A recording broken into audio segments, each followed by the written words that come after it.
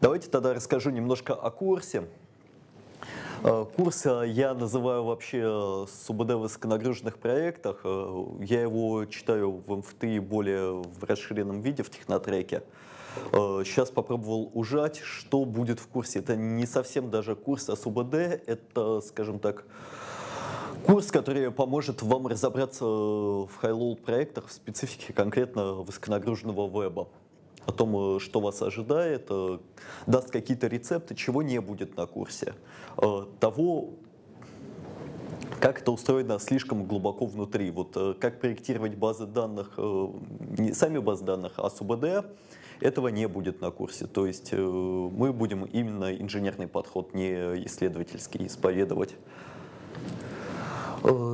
Так, и что будет на курсе? Пять лекций, э, туда же будут семинарские занятия. Сначала будет э, на каждом курсе, возможно, только в среду будет по-другому, немножко это мы еще решим. И сначала у нас будет лекционная часть, потом будет практика. Практику вот будет мой коллега Сергей вести, да.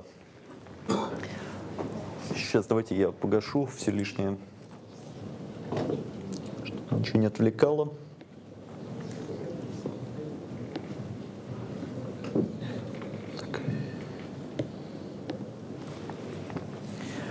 Сегодня посмотрим, э, сегодня вообще про базы данных ничего не будет, э, будет очень-очень э, кратко о том, что такое high-load, какие там есть основные паттерны, все, что не касается баз данных.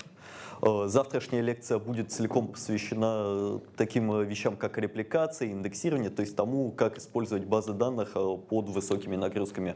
Что делать, чтобы ваш сайт, а конкретно базы данных, не задыхались под высокими нагрузками. А затем будет три лекции. Первая будет по MySQL. Э, на мой взгляд, самая скучная лекция из всех, но зато будут интересная лабораторная работа. Вот. А потом будет Mongo, там уже не будет ни презентации, ничего, это будет в режиме демонстрации. С Mongo кто работал? Поднимите руки, пожалуйста. Во, отлично, значит, самое то будет под эту аудиторию, отлично зайдет. Что вы сможете делать? Э, после этой лекции вы будете писать элементарные запросы в Монгу и будете понимать, э, что это за зверь такой и зачем оно вам нужно. И последняя лекция будет Тарантул. Кто о Тарантуле слышал? Во. Вот, э, а кто работал? Во, да, отлично. Э, значит, после этой лекции э, будете знать основы ЛО, ну, как основы, в принципе, можно сказать, будете знать все ЛО, язык элементарный, вот. Э, я его обычно читаю целую лекцию, ну, это я сильно рассаживаю, растягиваю, на самом деле там дел на час с ним разобраться. И Какого плана у нас будут лабораторные работы? Возможно, Серега что-то поменял в этот раз, но, как правило, это какое-то высоконагруженное тестирование. То есть э, делаем какую-то базу данных и гоняем ее под нагрузками, строим разные индексы. Вот что-то такого плана. Давайте еще так. Кто из МГУ? Кто из Бауманки? Кто из МФТИ? Так, отлично. Здесь тоже аудитория хорошая подобралась, поэтому лично мои предпочтения, кому что интересно. Так. Ну и давайте немножко расскажу о себе. Э, меня зовут Иван Ремень. Э, я руковожу разработкой э, в почта Mail.ru. Все, вот, что касается сишного кода, это под моей ответственностью. Э, хотя пишем мы, в принципе, на всем, что надо. На Go пишем, на Lua пишем, на Python бывает. C++ э, даже в расчет не беру это все на нем. На Перле даже иногда бывает, грешим. Вот. Э, я закончил МГТУ имени Баумна, кафедру ИУ-7, год назад, да, закончил, со степенью магистра, даже как-то красный диплом умудрился получить, зачем он мне нужен, правда, не знаю, вот, но не суть. Э, в Mail.ru я уже четыре с половиной года работаю, начинал стажером, э, где-то полтора года назад занял э, должность руководителя группы, там в связи с особыми обстоятельствами. Сейчас возглавляю команду из четырех человек плюс я пятый. Мне удалось поучаствовать в таких проектах, как MyMail. Кто-нибудь пользуется? Во. Надо больше. Э, на самом деле, самый популярный э, сторонний клиент э, в App Store на сегодняшний день почтовый, то есть популярнее только вот встроенное приложение для почты. Вот это наша разработка. Майком, кто не в курсе, это наш западный бренд. Вот у вас на ленточках написано Майком большей частью. Это сейчас идет объединение бренда. Э, я участвовал в разработке BizMail.ru, это наша почта для доменов. Э, достаточно интересный, мощный проект, сам, в принципе, им активно пользуюсь. Э, тоже под моим уже руководством шло шла разработка сворачивания цитат. Это когда вы читаете письмо, и у вас цитата схлопывается. Э, с этим тоже удалось э, поработать. Это такие самые базовые проекты, самые, на мой взгляд, интересные, мои любимые, которыми я занимался так уже за почти пять лет. Много что удалось сделать. Э, почему я считаю, что я могу преподавать этот курс? Ну, потому что скажем так, исторически я начинал с системы доставки нашей почты, и вот мы принимаем почти миллиард сообщений в сутки. Это достаточно много, причем когда утром приходят рассыльщики, э, у нас в пике достаточно много писем. В общем, э, я могу сказать, что я понимаю, как надо масштабировать э, ваши ресурсы, и потому что в современном интернете куда важнее масштабируемость, чем производительность даже. То есть вряд ли у вас будет какой-нибудь суперкомпьютер Ломоносов, Э, все ваше выполнять. А интернет это все-таки достаточно недорогие, ну, относительно недорогие сервера, но это мы потом рассмотрим. Вот э, как-то мне 4 уже года удается делать так, что Mail.ru почти не падает. Не, ну, всякое бывает. Там электричество отключается, еще что-то. Кто не помнит, в 2009-м эскаваторщики копали э, канаву, в общем, копали, перебили оптоволокно, пол Москвы сидело без интернета. Вот, бывает и такое. Хотя мы даже в таких случаях умудряемся работать. Вот. И еще раз э, по курсу. Э, что я хочу, чтобы вы вынесли с курса? Э, понимать, что такое high-load и в чем его особенности. Понимать особенности железа в интернете.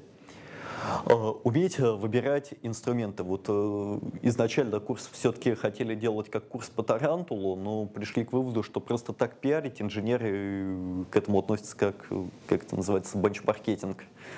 Вот. Не очень хорошая идея.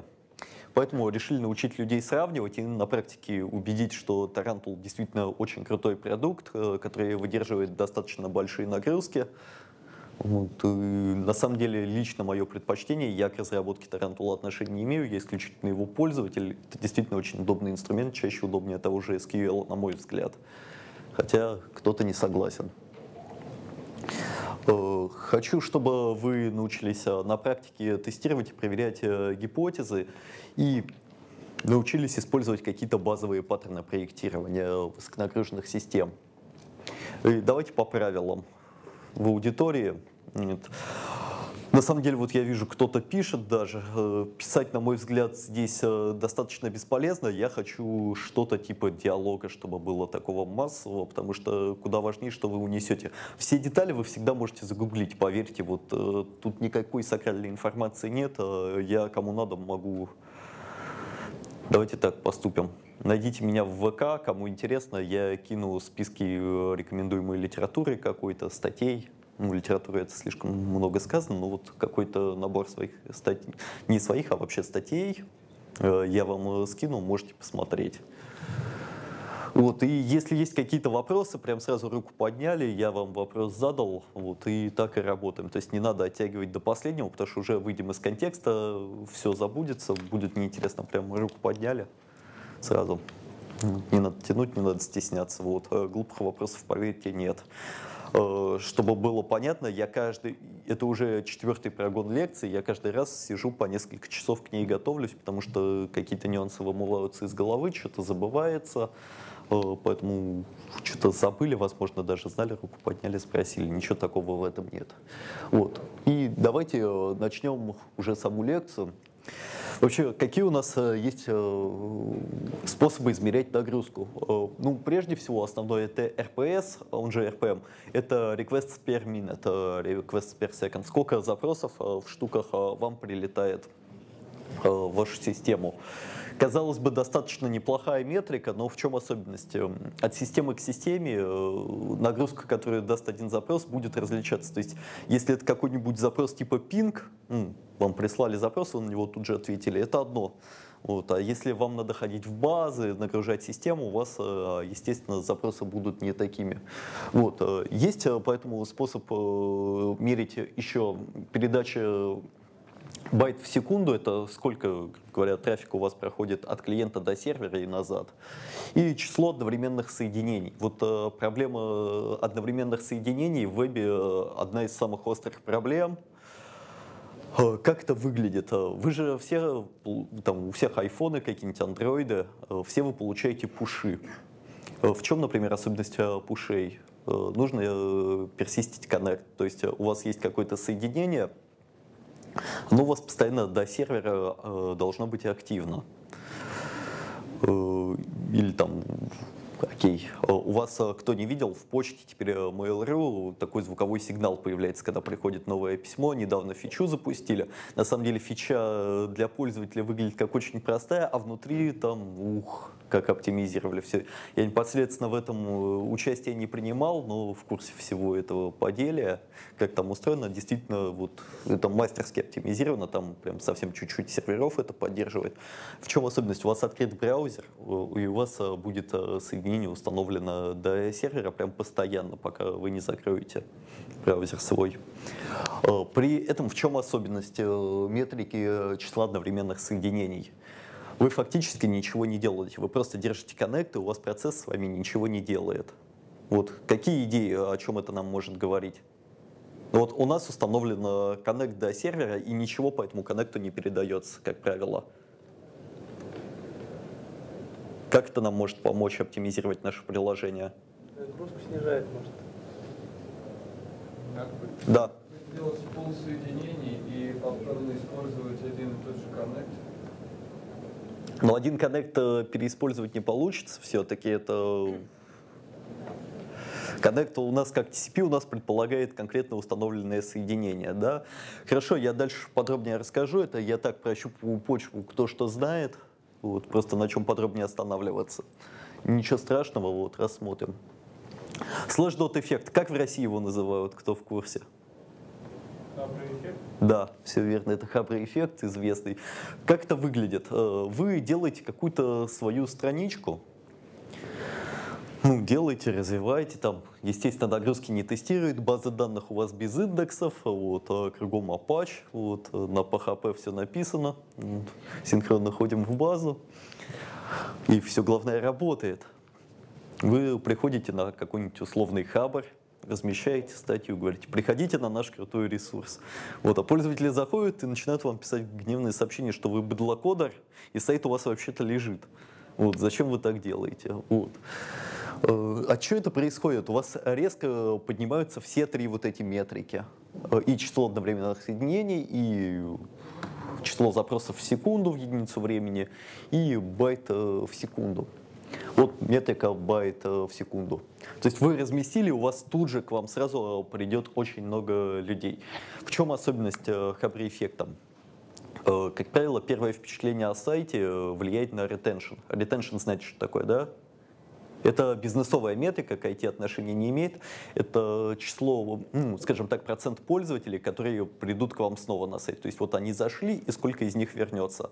Э, это для бизнеса одна из основных э, метрик. И вот, вот вот эта метрика, когда у вас ретеншн не выдержал. А если у вас крутой сайт, э, и он, второе и важное, держит нагрузку, вот, скорее всего, у вас пик сократится не так сильно. То есть он не вернется до тех значений, которые были до.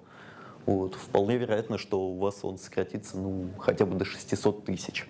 И это хорошо, это ваши деньги, это то, что вы можете показать заказчику. Вот э, наша задача за эти пять дней научиться, чтобы сложнот эффект вы все-таки переживали, чтобы у вас э, сайт не падал. Э, есть два таких базовых термина latency и throughput. Э, кто в курсе, просто руки поднимите, что это. Угу. Так, latency это время обслуживания одного клиента. Как это выглядит? Э, так. Вот э, к вам пришел запрос на сайт, вы его там попарсили, потом пошли в базу данных, база данных пофурчала, поработала, выплюнула вам ответ, вы этот ответ как-то обработали в формате, доступном для пользователя, отдали. Вот э, время от принятия первого байта запроса до отдачи последнего байта ответа — это ваш latency. Ну, блин, условно для Counter-Strike, кто играл, это пинг называется. Вот, вот это пинг. Throughput э, — это число обработанных клиентов в единицу времени. Вот э, на что это похоже все? Мой извечный любимый холивар. Общественный транспорт э, против э, личного транспорта. Вот э, latency всегда, еще раз важно, latency чем меньше, тем лучше, Throughput чем больше, тем лучше. То есть у них в этом плане разные величины. То есть latency, стремящийся к нулю, должен быть, а throughput должен стремиться к бесконечности. Вот это важно понимать. Поэтому давайте не говорить больше, меньше, а лучше, хуже. Вот, э, потому что я сам постоянно путаюсь в этом, когда говоришь, оговариваешься часто. Еще раз, э, у личного транспорта, ну, если не считать московских пробок, вот возьмем идеальные условия, latency э, всегда выше у личного транспорта, лучше. Не, не выше, вот я говорю, оговариваюсь, лучше. То есть на машине вы всегда доедете условно быстрее, там на такси. А, при этом Српут вышел у общественного транспорта, потому что э, там в него залезло тысячи человек и едут в одном э, вагоне метро. Вот э, у него Српут лучше. Они очень часто на практике, казалось бы, они должны э, иметь э, прямую корреляцию, но на практике они, как правило, различаются, поэтому вы будете либо оптимизировать э, latency, либо throughput. Хотя, в общем-то, на мой взгляд, кажется типичным, что при падении latency должен расти throughput, то есть ну, чем быстрее вы отдаете пользователю ответ, тем больше клиентов вы можете обработать. Вот. Золотой середины нет? Вот, да, как раз э, смысл в том, что э, ну, золотая середина всегда есть, только она зависит не от цифр, а от, э, от вашей бизнесовой задачи. То есть, э, что вам важнее? Если у вас э, один клиент э, там, в год приходит, то ему очень важно отдать быстро запрос. Но это очень важный клиент, его нельзя потерять, и он должен быстро отрабатывать. А если э, вам приходит э, там, 100 тысяч пользователей в секунду, в секунду, и один из них будет не удовлетворен скоростью работы вашего сайта, да и с ним 9 тысяч будут счастливы оставшихся. Это, это хорошо. То есть э, всегда по этому вопросу надо спрашивать вашего продуктового менеджера, а что нам нужно, э, как, на что мы рассчитываем, что мы хотим получить. Вот, э, запомните вот эти две характеристики, то есть э, у них э, корреляция есть, она не нулевая, не минус один, не один, вот, надо смотреть конкретно, но в идеале, конечно, стараться и то, и другое, чтобы у вас было неплохим. То есть, ну, наверное, даже если вы будете оптимизировать throughput, но у вас отдача сайта будет 10 секунд, это, это плохо, это плохо, плохой latency. Э, дальше, трехзвенная архитектура, кто в курсе, что это? Во. А кто ходил на курс Быкова? Технопарк. Быков, да, у Быкова очень э, суровый курс. Он, он умеет выжать из людей сок чтобы все понимали, вот а, действительно, на самом деле, я очень Саше Быкову благодарен, а, потому что на курсе этого человека я вообще заинтересовался темой хайлоуда, и, в принципе, наверное, в этом я останусь на какой-то обозримую перспективу долгую точно. Мне очень интересна эта тема, мне действительно это нравится, и вот э, попробую сегодняшнюю лекцию пересказать весь его курс кратко. Э, что у нас э, в трехзвенную архитектуру входит? Это так не видно. Это фронтенд, э, бэкенд и storage. Storage у нас это что? Это могут быть какие-то файловые хранилища, это базы данных, туда же относится storage такое широкое масштабное понятие. Фронтенд это Это то, куда приходит клиент, то есть то, с чем он установил соединение и работает с ним. Это некий сайт. Э, сайт не в смысле сайта. В общем, некая инфраструктурная единица, с которой вы устанавливаете соединение, и она что-то делает, но там нет никакой логики. Вся логика у нас находится на бэкэнде. Вот э, основная задача бэкэнда это как раз обслуживание э, вашего сайта. И storage э, это хранилище, это то, что задача storage вообще уметь не просто отдать данные, а отдать их достаточно быстро. Вообще, чем база данных отличается, по-вашему, от того, чтобы хранить файлы? Ради чего все мы это делаем? Почему не хранить данные файлы? Кто скажет? Это мы будем более подробно на следующей лекции рассматривать, но тем не менее, да. Я, думаю, что, во-первых, СБТ обеспечивает э, в вебе, на самом деле, это не самая критичная часть в финансах, да, это очень важно. А вот почему в вебе мы храним?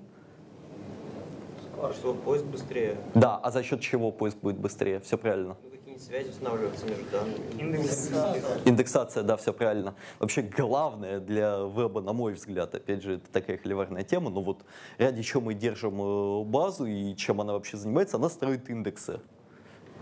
То есть, э, если бы не было индексов, э, в принципе, можно было бы, наверное, и файлы хранить для веба. Ну, там транзакции, естественно, все, но в вебе, э, пускай меня сожрут, мало кто использует транзакции, потому что тормозить будет, а если какие-то данные покараптятся, там, раз в тысячу лет не так страшно, это не финансы. Э, чем занимается фронтенд? Э, это прежде всего основная его на сегодняшний день важная задача, это терминация SSL трафика. То есть Наверное, сейчас любой уважающийся ресурс работает по HTTPS, тем более HTTP 2.0 стандарта подразумевает исключительно шифрованный трафик. Конечно, в RFC они в итоге договорились э, до того, что можно и не зашифрованным соединением э, работать. Но в итоге, по сути, каждый из вас наверное, кто пытался поднять Nginx, видел, что без SSL оно работать не будет. Э, это обработка медленных клиентов. Вот давайте на этой э, проблеме э, остановимся. Когда проблема медленных клиентов была актуальна у нас? Ну, в 90-е годы, прежде всего. Сейчас поймете, кто там уже возмущен, что лектор несет какой-то бред. Вот вы дослушайте до конца, вот, будет вопрос. В 90-е годы я уже, у меня тогда был компьютер, вот этот вот страшный модемный звук, и оно работало очень тормознуто. Я помню, как я расстраивался, когда происходил разрыв соединения, и приходилось все перевыкачивать заново, потому что это было нереально долго. Там сидел, молился уже, хоть бы не дисконнект, хоть бы не дисконнект. Вот, была такая история. Потом вроде трафик э, стало пропускать больше, интернет стал шустрым, а потом э, проблема вновь стала актуальной в 2007 году, допустим. Почему? Потому что Интернет новый, а компьютер старый. Нет. Что случилось именно в 2007 году? Что? Мобильный интернет. Э, почти. А что, почему именно 2007 год? iPhone вышел, да, все правильно. Вот э, резко растет э, надобность в том, чтобы работать с медленными клиентами. Вообще, почему медленный клиент для сайта это плохо? Почему нас это волнует? Он может канал Э, Еще раз вспоминаем, какая, какие у нас есть метрики. Да, мы устанавливаем соединение. Э, как вообще выглядит э, установка соединения? Мы устанавливаем соединение, там типичный TCP handshake, кто не в курсе, не парьтесь, потом почитайте, что это такое, неважно. Вот мы установили соединение. Дальше там приходит первый байт запроса, а запрос может быть там мегабайты, допустим, ну, если мы какой-то файл заливаем.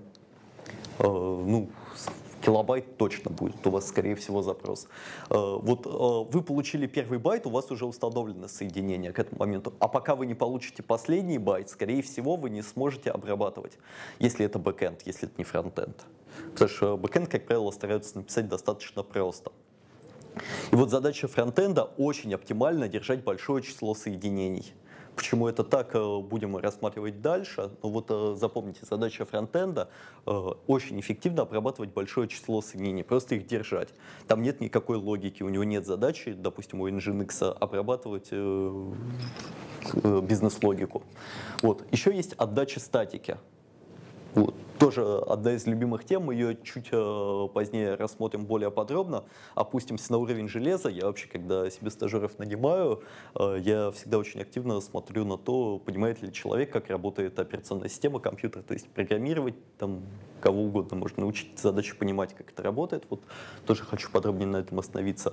Э, Keep Alive тоже на бэкэндах э, сложных. Это, как правило, достаточно сложно реализовать. Ну, Естественно, там вы, скорее всего, большинство на питоне на каком-нибудь пишете. Вот. Я все-таки смотрю на это с точки зрения какого-нибудь бэкэнда на C, где HTTP реализовать нетривиальная операция. У нас реально там часть бэкэндов на C написана, поэтому не все так просто. И кэширование со звездочкой. Почему со звездочкой подробнее рассмотрим потом, вот пока не важно. Keep Alive, э, кто понимает, что такое? Давайте на Keep Alive остановимся сейчас. Да. чтобы не расходовать системные ресурсы каждый раз на установку и закрытие соединения, оно в это время еще сохраняется, и следующие запросы по нему живут. Да, все верно. То есть, э, как у вас выглядит типичный сайт? Это а, э, какой-то HTML-документ, и у него куча ресурсов, там какие-нибудь картиночки, я не знаю, что-то там, вот. Э, если вы за каждым ресурсом будете переустанавливать соединение, у вас накладные, э, время накладное на установку соединений будет очень большим, у вас сайт будет медленно открываться. А так вы установили один раз соединение, там Internet Explorer, э, если мне память не изменяет, 6 что ли соединений поддерживает, не помню сейчас точно.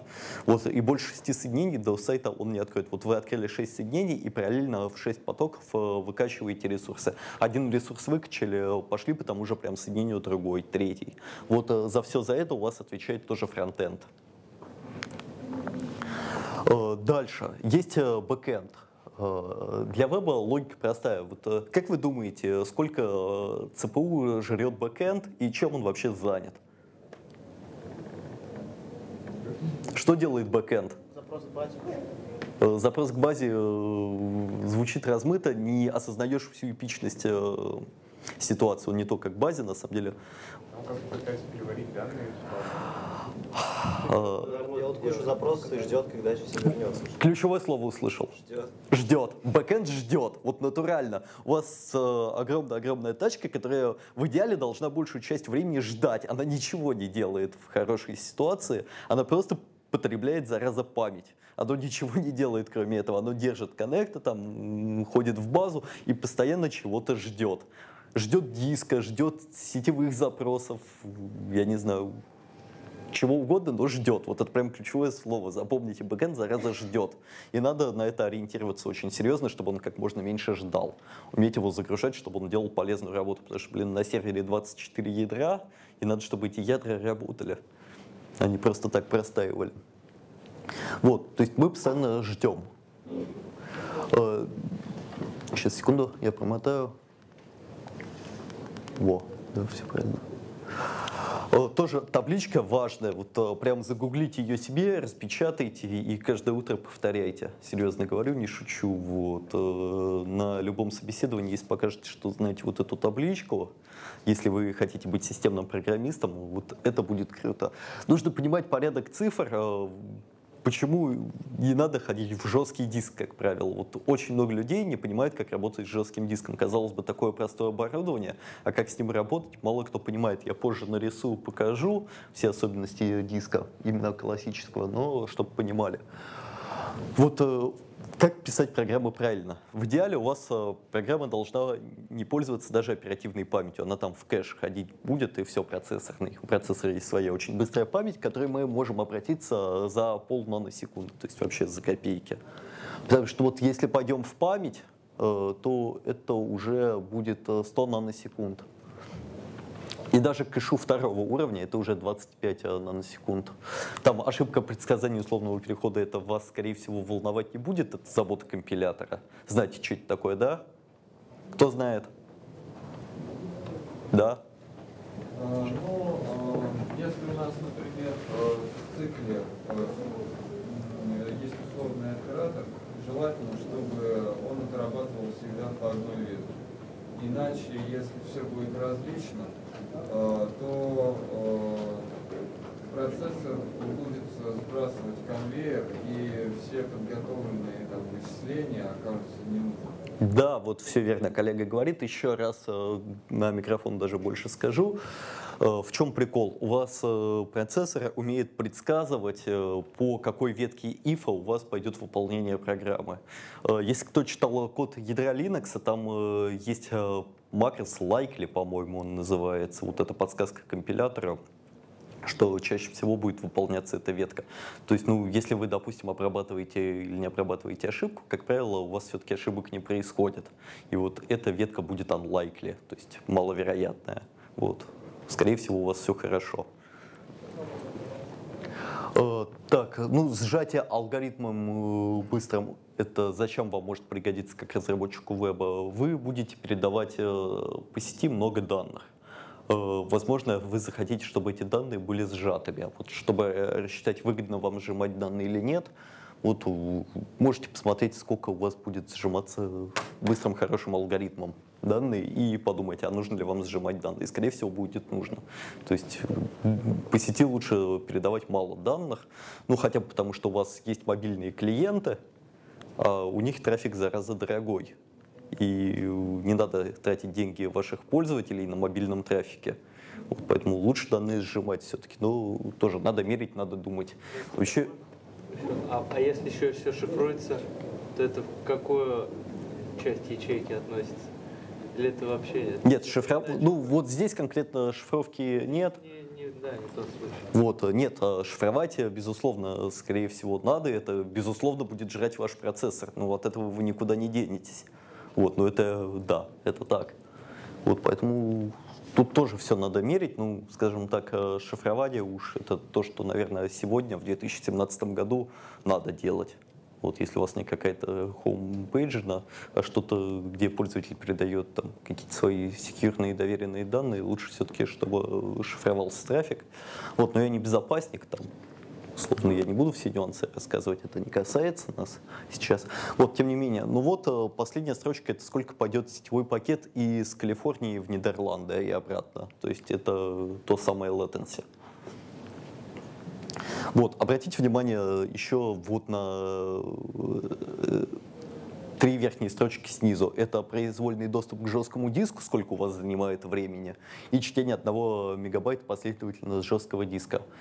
И обратите внимание, что эти два числа э, будут э, меньше передачи сообщений туда-сюда в одном дата-центре. То есть э, натурально вы сходите по сети часто быстрее, чем будете ходить в локальный диск.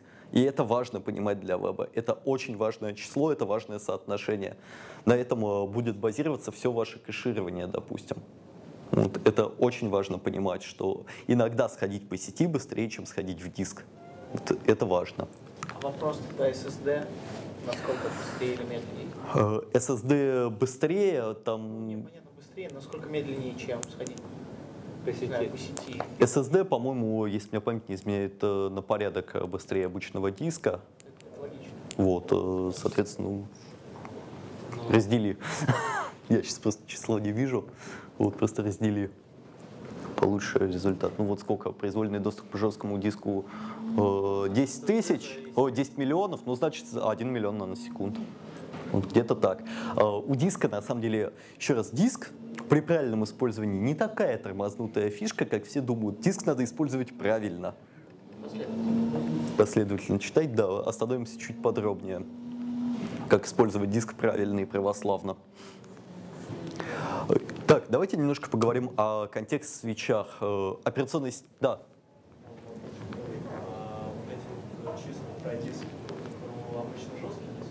Нет, это обычный жесткий диск. Еще раз, SSD на самом деле достаточно редко используется. Прежде чем использовать SSD, надо тоже тысячу раз подумать, потому что он не живучий. Вот. Даже просто от чтения он сыпется? Ну, конечно, они сыпятся, тем более вы, скорее всего, писать будете обращения. Это все не очень хорошо. Они дорогие, они не очень живучие, поэтому у нас и так, на самом деле, когда много серверов, у нас, допустим, я каждый день вижу, что где-то подыхает жесткий диск. Там. Ну, вижу, сервак тормозит, пишу админам, говорю, ребят, что такое? Они, ну, диск сыпется, ну, блин. Я уже и сам вижу, если там процессор начинает много жраться, возможно, сыпется диск. Вот Задумайтесь о метрике. Растет процессор, а на самом деле сыпется диск. В каких серверах перегреваются диски в одном месте?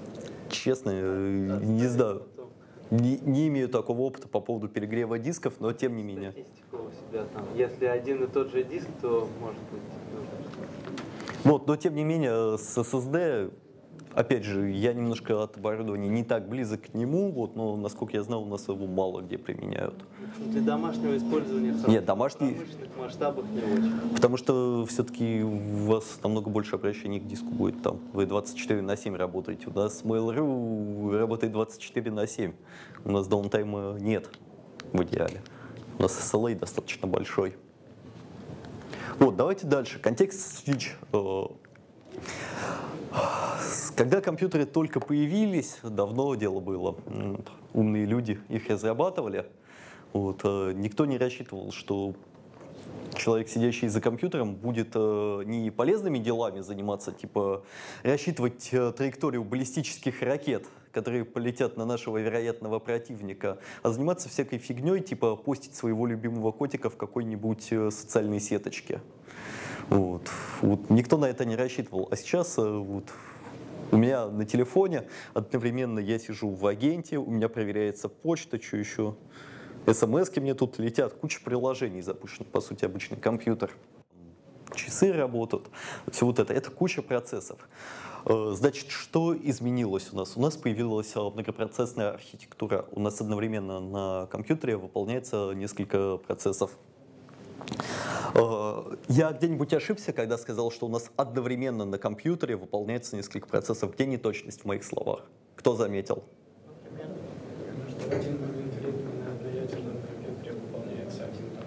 Правильно. Вот.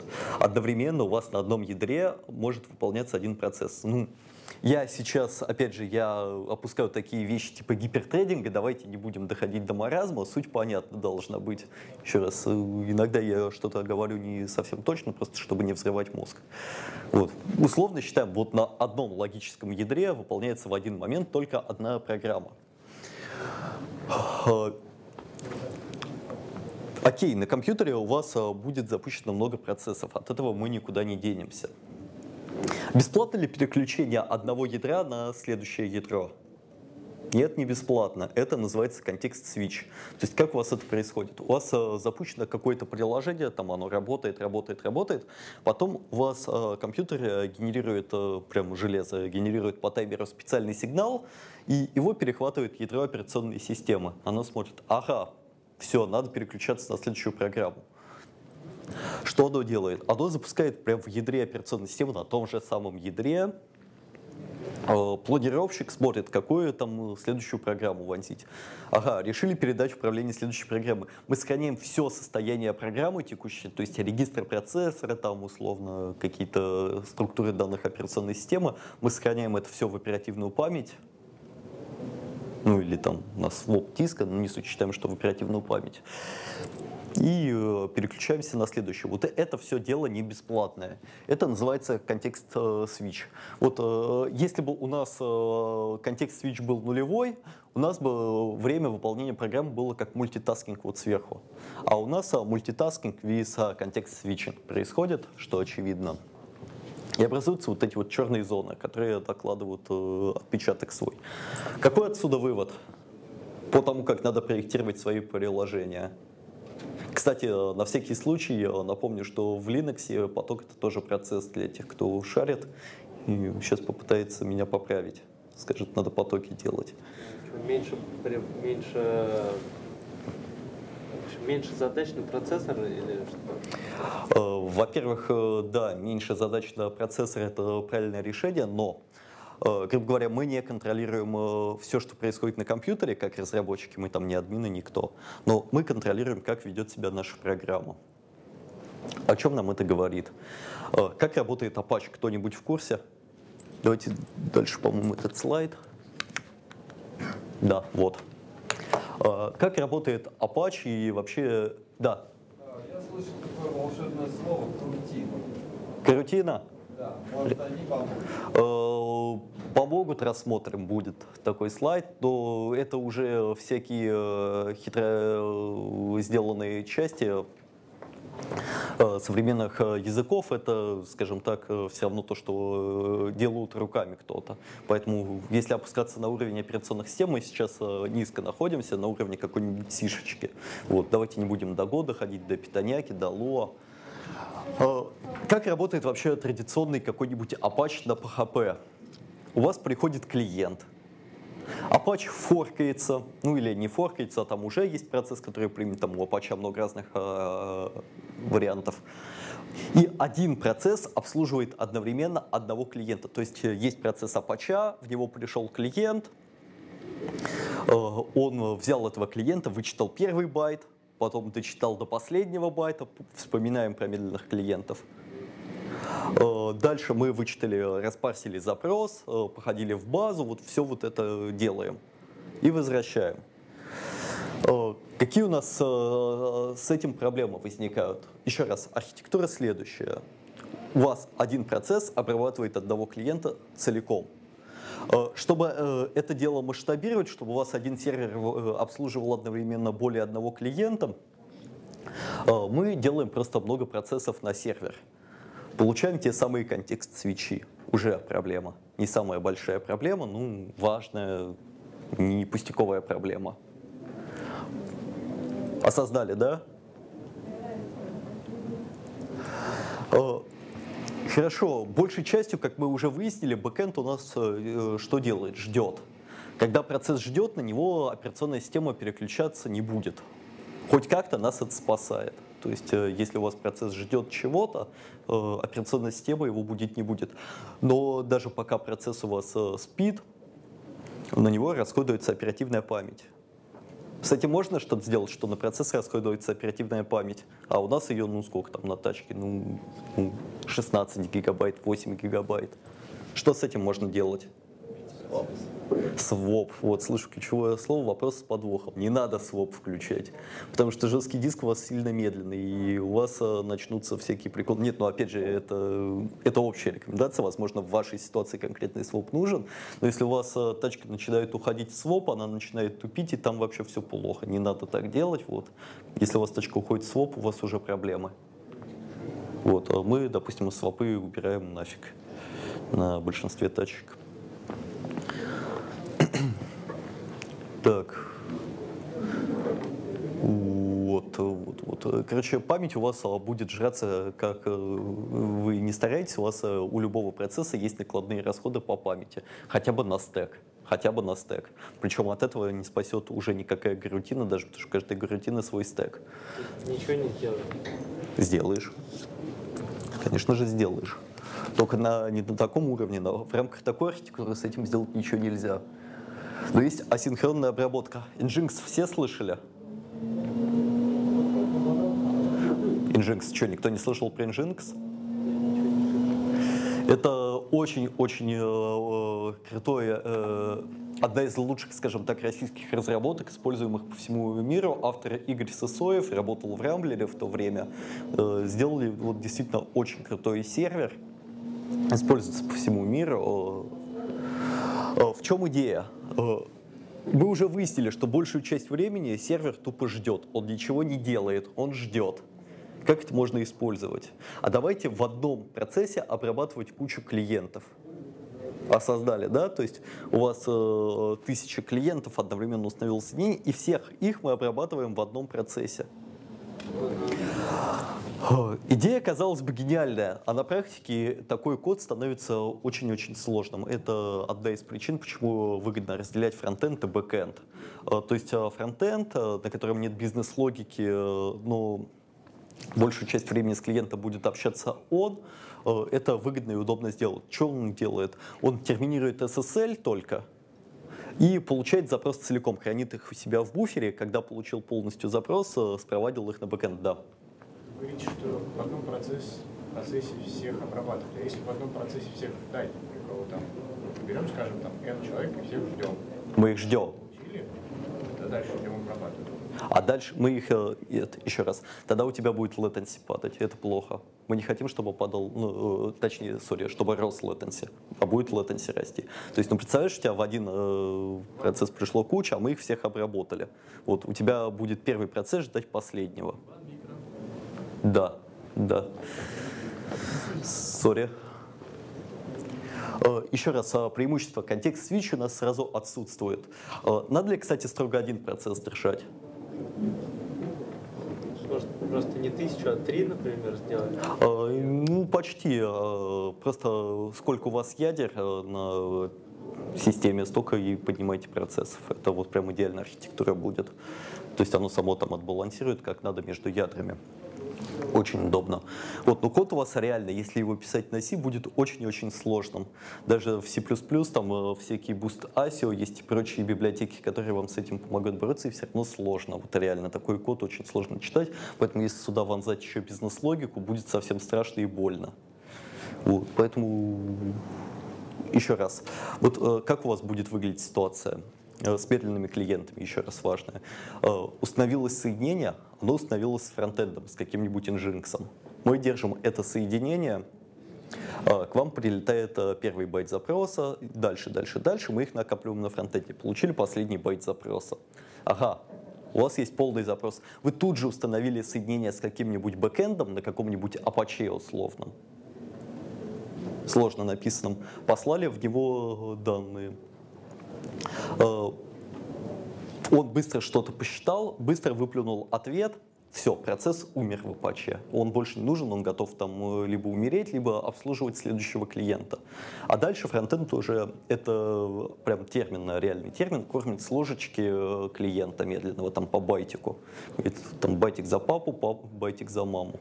Вот как-то так это работает. А благодаря этому вы э, решаете проблему медленных клиентов. То есть у вас бэкенд может по-прежнему форкаться на каждый на каждый запрос и будет при этом более-менее нормально жить. Ну, грубо говоря, у нас вот, допустим, во многом такая архитектура. Э, сейчас, конечно, там уже и не обязательно так делать. Допустим, если гошка какая-нибудь используется на бэкэнде, то ей уже это все не нужно. Вот, но все равно можно какие-то такие полезные вещи извлекать. Так. О, да, как это сделано? Есть специальные системные вызовы. Э, в Linux это EPOL, э, в BSD это QQ, вот на таких вызовах это делается. Есть еще вызовы Select и Pol, но они старые, они достаточно тормознутые по сравнению с EPOL. Хотя, хотя, если интересно, найдите меня ВКонтакте, там э, у меня висит статья на стене, не статья, сори, видеоролик со мной, где мы объясняем, что надо иногда использовать Pol и Select. Иногда в некоторых ситуациях оно быстрее и лучше работает. Вот, но тем не менее, если у вас высоконагруженная система, скорее всего, EPOL вам в помощь.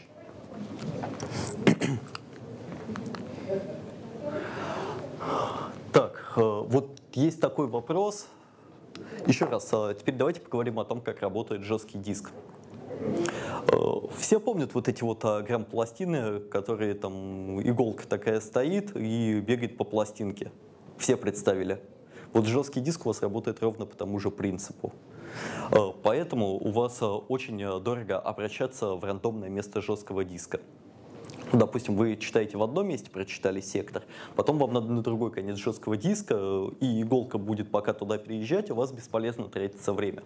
Поэтому там, особенно в старые времена какой-нибудь Windows XP э, было актуально, была программа дефрагментация, чтобы все части файла шли последовательно друг за другом. Поэтому фрагментация для жесткого диска это очень страшно. Современные файловые системы с этим борются более-менее нормально. А вот э, раньше с этим прям вручную приходилось бороться.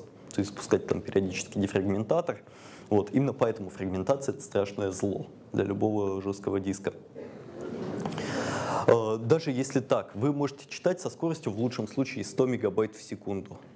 При этом вы ограничены в операциях ввода-вывода для жесткого диска. Хорошо, если оно 100 равно. То есть у вас не более 100 операций ввода-вывода может быть в секунду. Вот, э, вы, допустим, э, читаете, о чем это говорит? Если у вас есть много процессов, которые читают с жесткого диска, они начинают конкурировать друг с другом, и начинают задыхаться от э, нехватки ресурса жесткого диска, потому что один процесс читает из одного места жесткого диска, другой из другого. Один процесс почитал там э, половину файла, другой перехватил управление, пошел в другом месте жесткого диска читать. Отсюда правило, когда делаете архитектуру своего приложения, э, нужно делать так, чтобы жесткий диск читал всегда последовательно, чтобы сиков, сик это вот как раз установка иголки на нужное место, было минимально. А, итак, а, мы уже выяснили, что в диск ходить, блин, дорого. По сети часто дешевле сходить, чем сходить в диск. А, давайте еще об одном моменте поговорим. Вот у нас есть один процесс – что будет с, э, вот э, на каком-то клиенте мы заблокировались. Представили, что такое блокировка для процесса, да? То есть, когда мы пошли там в условную сеть, и пока мы не получили хотя бы часть сетевого ответа, у нас процесс как бы заблокирован, он спит. Ему операционная система не дает управления. Если у вас какой-нибудь Apache, условно, все хорошо, вы заблокировались, перешли на следующего, все нормально. А вот если у вас... Сейчас.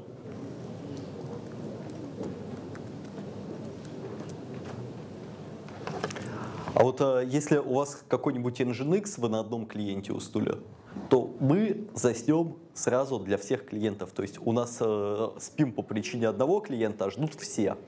Плохо. Вот не надо так делать. Э, поэтому очень сложно писать как я говорил, уже такие асинхронные сервера, потому что надо избегать блокировок. Любая блокировка, любой тормоз сказывается сразу на всех клиентов. Еще давайте я, если заговорили о проблемах таких серверов, скажу следующее.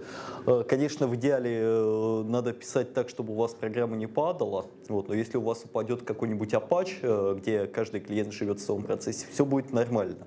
А вот если у вас упадет асинхронный сервер или многопоточный, у вас пострадают сразу все клиенты. То есть все клиенты получат 500 ошибку, что запрос не работает. А, итак, э, что мы имеем? Э, жесткий диск работает медленно, факт номер один. Факт номер два – нельзя блокироваться в асинхронных серверах. А теперь факт номер три. Э, я говорил, что фронтенды, которые должны быть асинхронными всегда, фронтенды, зараза, отдают статику, а статика у нас лежит на жестком диске. Как так? Как мы с этим живем? Почему так можно делать? Почему все работает? Почему интернет еще жив? У кого идея? Ну, частую статику можно в кэше хранить. В каком кэше? Ну, в оперативке даже. Э, близко. Ну, не совсем. А как мы с этим живем? Как нам это помогает? Мы ходим в жесткий диск непосредственно. Но ответ был частично правильный.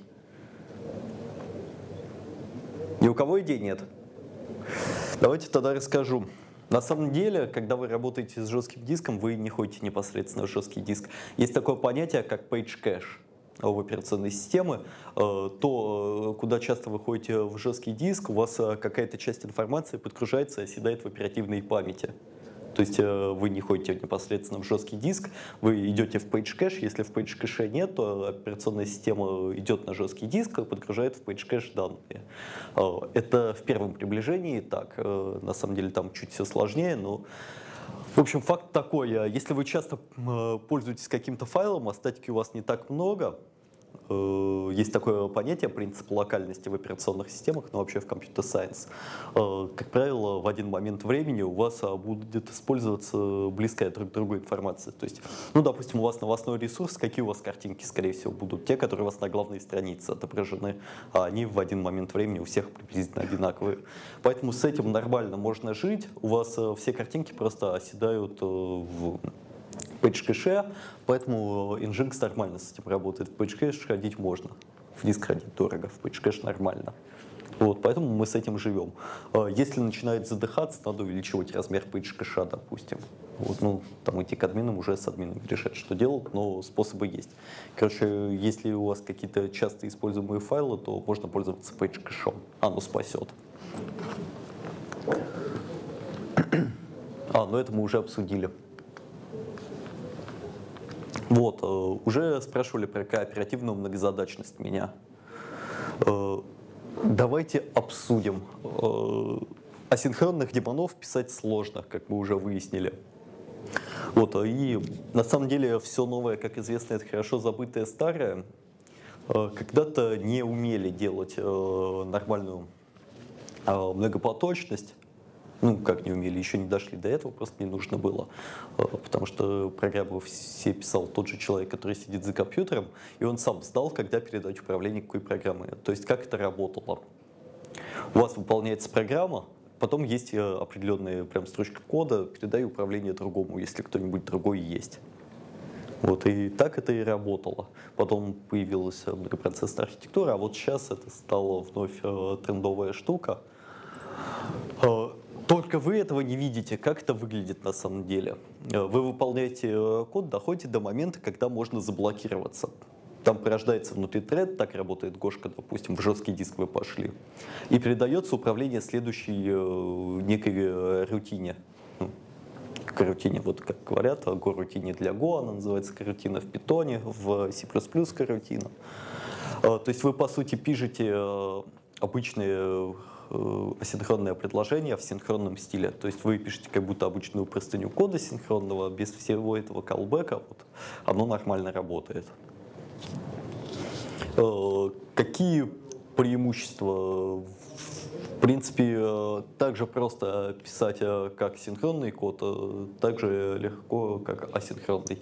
Вот. Но здесь надо смотреть. Иногда, если криво писать, почему вас это особенно касается, у нас будет лекция по Тарантулу. Вот Тарантул построен там хранимыми процедурами, все сделано. Вот там кооперативная многозадачность. Э, если криво писать, у вас никогда не будет инструкции по передаче управления э, другой рутине. То есть бывает задача, надо, допустим, обойти всех пользователей. Э, у вас один процесс тарантула. Вы его запустили, дернули ходить. И вот пока вы всех не оббежите, это 10 минут. Если криво написать, у вас ни один другой запрос выполняться за это время не будет. Потому что другим клиентам не будет передано управление. Идея понятна?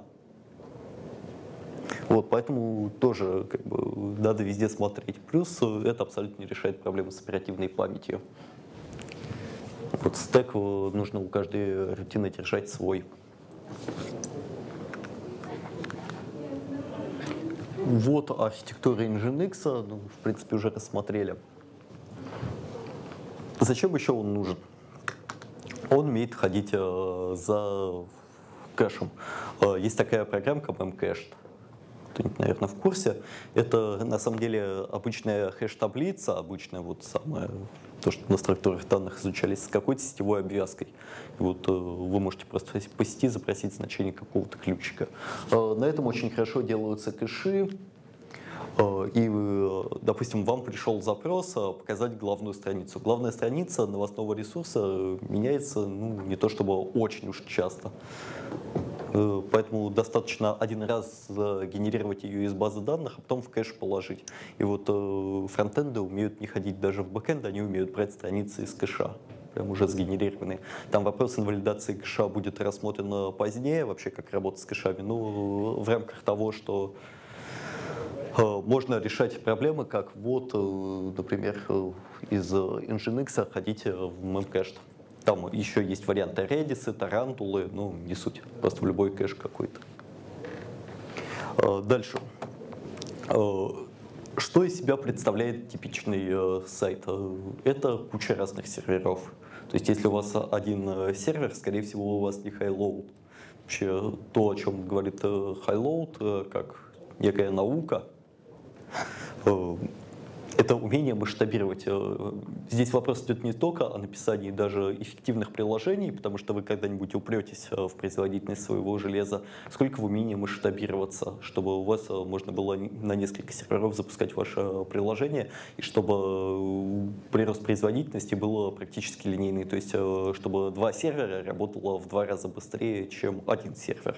Вот как-то так это должно быть. Там есть определенные математические законы, типа закона Амдала, если мне память не изменяет, которые говорят, что это, скорее всего, будет не так. Вот, но это то, к чему надо стремиться. Окей, э, клиент, как мы уже выяснили, приходит у нас на фронтенд. Фронтендов у нас несколько. Как сделать так, чтобы балансировалось на нескольких фронтендов? Э, ну, можно поставить специальные железки, которые хорошо балансируют трафик, там балансеры железные. Самый-самый простой способ — это DNS-балансировка. Э, все, кто не знает, что такое DNS, поднимите руку, пожалуйста. Окей, есть такие, давайте тогда очень кратко расскажу. DNS — это специальный протокол. Вы пишете в браузере э, www.mail.ru, да? Но у вас э, TCP ничего не знает о символьных именах. Э, надо как-то символьное имя преобразовать к IP-адресу. Вот за это как раз отвечает DNS. То есть вы ну вот пример. Мы пишем в командной строке host Mail.ru, она говорит, что у Mail.ru есть вот такие-то IP-адреса. Вот это как раз и есть DNS. То есть, еще раз, вы написали символьное имя, получили в ответ IP-адрес. Этим занимается служба DNS. Как устроен браузер? Он возьмет, э, скорее всего, э, первый адрес, там есть разные приколы, но будем считать, что это так.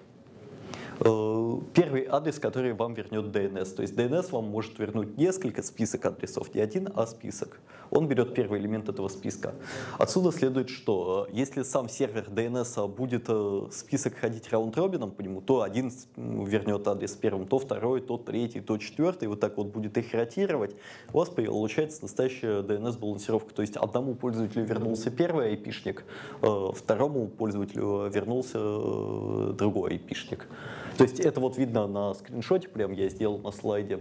А, первый раз мы говорим host Mail.ru, нам возвращается IP адреса 94 100 180 201, а второй раз 217 69 139 200. То есть это два разных фронтенда Mail.ru. Вот, благодаря этому будет работать. Вопросы есть? Потому что такое DNS и по тому, как э, работает DNS-балансировка. Ни у кого? Ну, давайте дальше тогда. А у меня есть все-таки вопрос. А можно эту балансировку как-то настроить по, по загруженности или нет? А, по загруженности... Или она и есть. Нет, по загруженности не получится, но, скорее всего, у тебя, во-первых, все сервера должны быть э, равно нагружены, а во-вторых, э, можно задавать веса, так называемые. То есть, э, допустим, у тебя стоит новейший там, я не знаю, суперкомпьютер и какой-нибудь Pentium 2. Ага. Где-то в гараже у бабушки откопали. Я понял, я вот, можно весами, да. Так, есть э, горизонтальное масштабирование. Это в рамках хайлоуда то, на что нужно закладываться. Это добавление новых серверов. Э, э, когда-то оно станет дешевле. То есть смотрите, как это происходит. Вы сначала разбили свою свинью-копилку, нашли там 100 рублей, пошли на радиорынок, и купили за 30 рублей какой-нибудь Pentium 1, а на оставшиеся 70 рублей купили себе пиво. Вот. Окей, э, Pentium 1 у вас перестал выдерживать более двух запросов в секунду, вы пошли и купили Pentium 4 современный относительно, воткнули его, окей. Дальше вы поставили какой-нибудь i7, все, а дальше вам особо там, ну, ставите ксионы какие-то, но э, очень быстро вы упретесь в производительность э, хорошего сервера. То есть э, каждое следующее улучшение вам будет стоить слишком много денег, и в определенный момент будет дешевле поставить еще один такой же сервер. То есть сначала мы наращиваем мощность сервера, это вертикальное масштабирование. А потом мы начинаем масштабироваться по горизонтали, доставлять больше компьютеров. Это вообще, как горизонтально масштабироваться, это тема первых трех лекций вообще, ну, двух точно. Вот. Все, что мы сегодня рассматриваем, это, особенно завтра будем рассматривать о базах данных, это будет про горизонтальное масштабирование. Какие недостатки? Вот а, если вы воткнете процессор помощнее, вам ничего программировать не придется для этого. Чтобы у вас а, было горизонтальное масштабирование, вам приходится думать головой своей и понимать, а, как хорошо отмасштабироваться. Ну, к примеру, как это видно, вам приходится задумываться о таких вещах, как DNS-балансировка. Потому что вы поставите два сервера, если все пойдут в один, то как бы толку от вашего второго сервера. Вот. О чем еще нужно думать?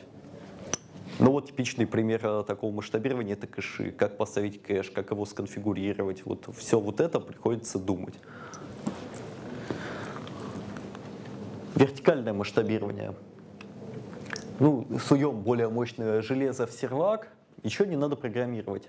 Но цена растет нелинейно. То есть сначала, чтобы получить э, Короче, чтобы получить производительность относительно Pentium 1 в два раза, вам придется заплатить э, какие-то копейки сущие, а потом все дороже, дороже, дороже. И, как я уже говорил, дойдем до того момента, когда дешевле поставить еще один сервак и оплатить работу программистов, которые вам э, сделают нормальную масштабируемую архитектуру.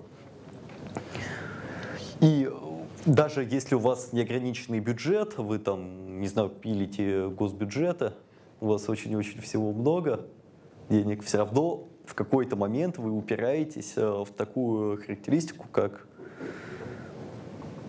ну, предельная мощность серверов. Ну, допустим, вы поставили суперкомпьютер Ломоносов, там, или что у нас сейчас считается самым крутым, типа, не помню, короче. Deep Blue, по-моему, он называется. Ну, короче, мощнее ничего нет, все. А у вас еще клиенты идут. Вы такой крутой сайт сделали, что все им пользуются. И фиг что с этим сделаешь, пока не начнете горизонтально масштабироваться. Вот, ну, в общем, надо и то, и другое использовать. Немножко о кэшировании. Давайте я сначала скажу первое правило, которое надо знать про кэширование, а потом уже буду рассказывать, что с этим делать. По возможности не надо кэшироваться. Правило номер ноль. Если у ваш сайт э, не работает без кэшей, это плохой сайт.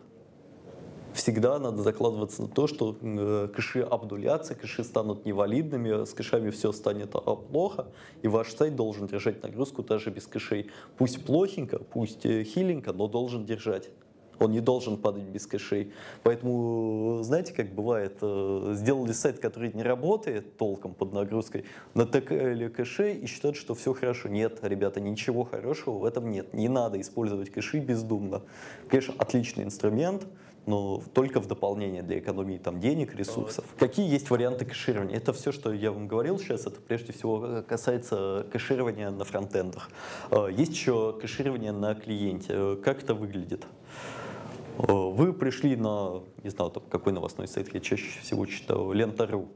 Вот э, я зашел на условную ленту.ру, э, у меня загрузились картинки. Через 5 минут я устал работать, захотел еще раз ленту.ру почитать. Нажимаю F5, обновляю, а там все те же, скорее всего, картинки будут. Зачем мне еще раз их загружать?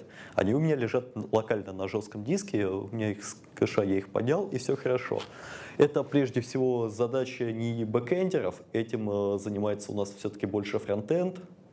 Ну, фронтенд, понимаете, да, это те, кто э, пишет на JavaScript, на HTML. Вот. Это больше их задача, там, э, как кэшированием заниматься, как оптимизировать все это дело. Задача следующая, чтобы у вас кэшировалось то, что должно кэшироваться, вовремя инвалидировалось, Инвалидация кэша — это когда какой-то ресурс становится недействительным, устаревшим. Вот, э, в общем, тоже не надо этим пренебрегать потому что существенно снизит э, реальную нагрузку на сайт. Вот. Потом, э, какие еще есть особенности у клиентского кэширования? У HTTP есть код ответа, сейчас не вспомню, что номер, 304, по-моему, да, not modified. Вот, если вы пришли за каким-то ресурсом, вы передаете специально его версию, там э, есть разные способы, время последнего обновления, if modified since заголовок в HTTP, э, либо какой-то хэш ресурса, там etag, например, Э, если он остался на сервере то же самое, он отвечает 304 not modified, и все, вы берете из кэша.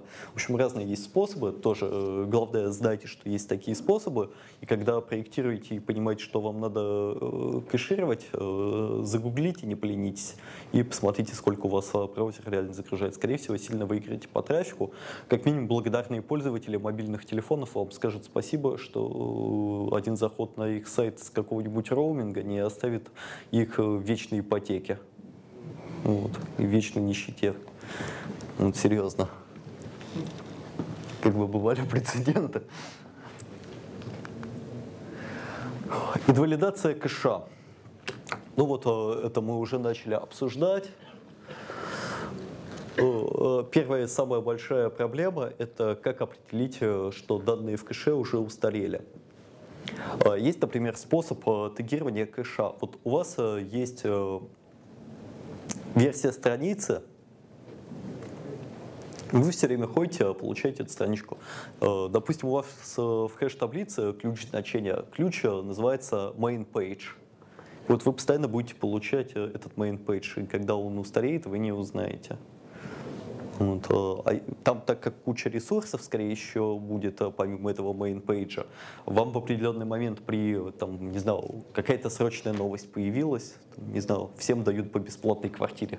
Пардон, а вот. main page от клиента отправляется на сервер? Нет, это все кэширование, это все мы говорим о кэшировании на фронтендах. То есть, когда фронтенд идет в мемкэш локальный, мы об этом прежде всего говорим. Вот есть способ протегировать это по-другому версионирование ключей.